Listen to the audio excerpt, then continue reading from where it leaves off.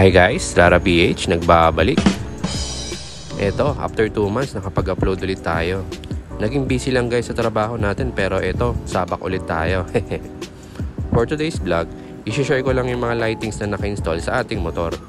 Pati na din yung mga busina na gamit natin.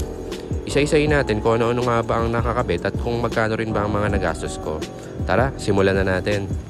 Unahin na natin sa listahan itong mini driving light natin na unang pinakailangan nating ipakabit kapag nagkaroon ng motor. Alam naman natin na sobrang hina ng stock headlight kahit ano pang motor yan, kaya kailangan talaga natin to. Brand nga pala nito is M1 Senlo. 2 years na nga pala tong MDL natin at never akong pinahiya nito. Sobrang tibay din niya sa tagulan dahil never siyang nasira. Kung interesado kayo kung saan ko to pinakabit, PM nyo lang ang Hybrid Motorcycle Works at sa kanila ko lang ipinagkakatiwala ang wirings ng ating motor. Ayan, pakita ko lang yung buga ng ating mini driving light. Low beam is white. High beam naman natin is pinagpatong na white and yellow. Ayan. Ayan, test din natin siya sa madilim na kalsada. Para mapakita ko din kung gaano nga ba kalakas ang mini driving light natin. Ayan, low beam, then high beam. Ganyan siya kalakas guys, kaya sulit na sulit talaga. So far, low beam lang sapat na sa akin at hindi na halos nagagamit ang high beam natin. Be responsible lang din sa paggamit ng mini driving light guys. Hindi dapat laging nakababad ang paggamit nito dahil nakakasilaw rin sa mga nakakasalubong natin. Hanggat maaari, papatayin nyo pag medyo maliwanag naman ang kalsada. Meron nga din pala tong flasher o passing light nung pinakabit ko. Dito nga pala nakalocate yung mga switch natin guys at talagang sobrang tibay ng ganitong switch. Sobrang subok ko na to kahit ilang tag-ulan na ang dumaan. Downside nga lang nito para sa akin sa ganitong klaseng switch is medyo hassle nga lang dahil need mo pang pindutin sa bandang ibaba ng handlebar mo. Pero subok na sa tibay dahil never naman tong nasira. Ang tanda kong nagastos ko dito is almost 5k. Then ako na may dala ng busina. Pinalabor ko na lang sa kanila. Medyo may kamahalan guys pero hindi hindi kayo magsisisi dahil solid ang gawa at maayos mag-wiring sa Hybrid Motorcycle Works. Hindi ako sponsored guys ha. Talagang tiwala at satisfied ako sa gawa nila ever since. Next is, itong ating busina. Ito advice lang guys. Kapag sa busina, ako na lang ang bumibili then pinapalabor ko na lang pagkabit para medyo makamura. Almost 500 to 1k din kasi ang matitibid nyo if kayo na ang bibili ng mismong busina. Brand nga pala ng busina natin is Seger. Katunog nga pala nito halos yung Bosch FC2 FC4. Ganito yung mga trip kong busina, yung medyo matining sa tenga. Sobrang lakas ito guys at ito, sound check tayo.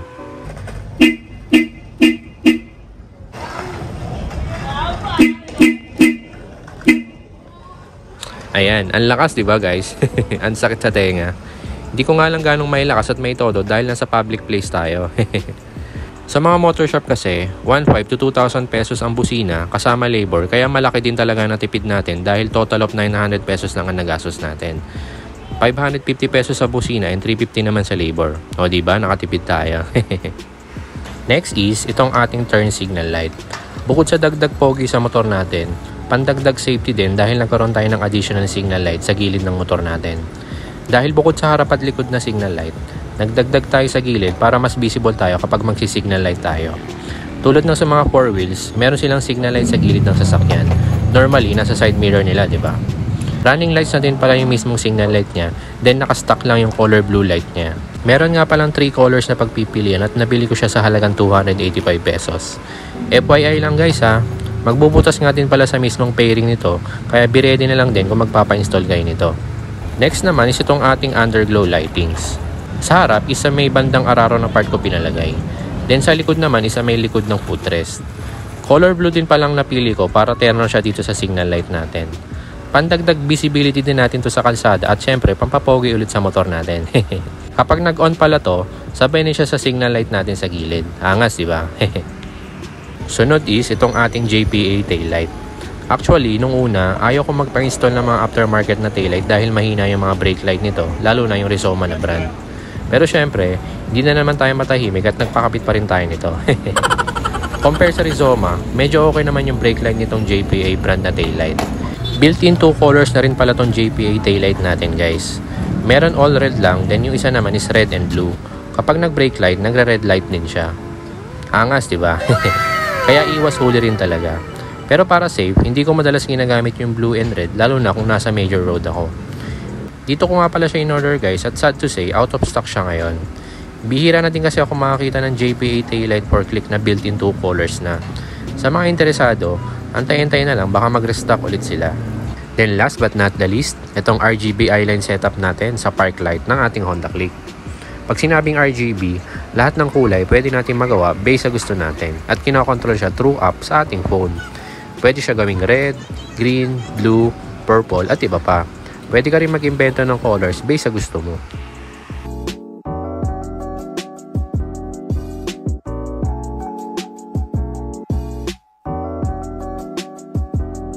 Bukod dyan, meron ding mode na running lights. Iba't ibang klase siya up to 200 modes sa pagpipilian. Ito, pakita natin.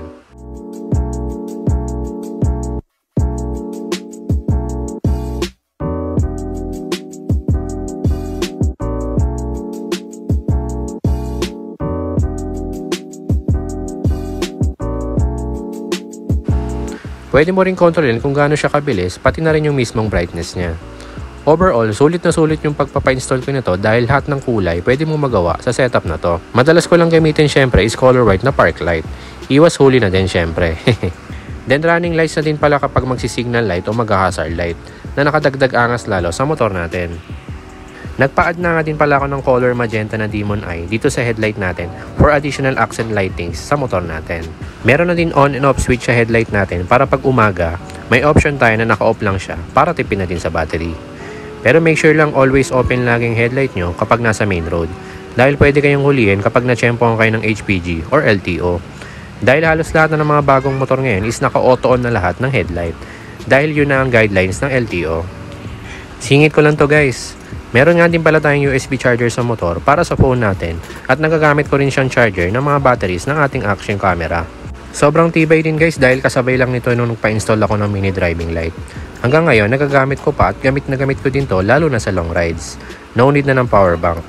So far, fast charging din siya at big help to lalo na sa mga delivery rider o mga angkas o joyride. So ano pang inaantay mo? Kung napanood mo tong video ko na to, sign mo na to para magpakabit at huwag ka na magdalawang isip dahil para naman sa motor mo yan. lahat ng electrical o wiring work sa motor natin is kay Hybrid Motorcycle Works ko lahat pinagawa. Kaya kung gusto niyo na mapagkakatiwalaan ng motor shop or electricals, doon na kayo sa hybrid dahil quality talaga ang gawa nila. Hybrid, baka naman. Bago ko tapusin yung video guys, gusto ko lang ulit magpasalamat sa lahat ng sumuporta at nanood sa mga vlogs natin. Dahil eto, nasa 2,000 subscribers na tayo. Parang kailan lang no? Padamay na din pala ng FB page ko guys dahil nagsisimula na din tayo doon. At pwede din tayo doon magkausap. Hindi ko rin nakalain na aabot tayo sa ganito kaya sobrang thank you sa inyo guys. Asahan yung mas lalo tayong magtutuloy-tuloy sa pag-upload para mag-share pa ng mga ginagawa natin sa ating motor at sa ating buhay-buhay. at kung umabot ka sa part na to, say present lang at isa-shoutout ko kayo sa next vlog. Hanggang sa susunod ulit na upload. Thanks guys!